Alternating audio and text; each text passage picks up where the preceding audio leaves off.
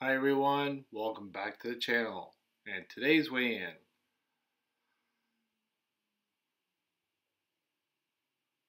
Today we're at 215, so we're holding steady, not going up, not going down.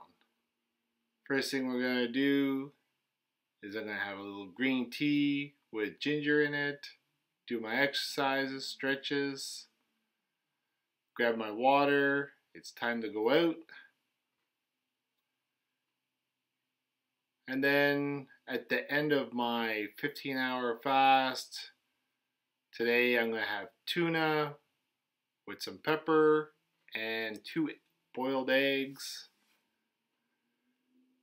And with that, I'm going to have some Earl Grey tea. And I'm going to grab some more water and we're going out for a walk. So me and my daughter are out walking and we decided to stop for a drink. This is real fruit. This is avocado smoothie, half sweet.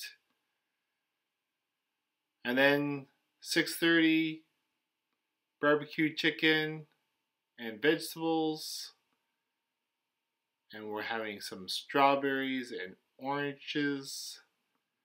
And I'm going to end the day off with some green tea with lemon. And that's it.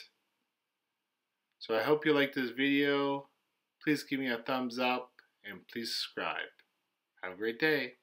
Bye.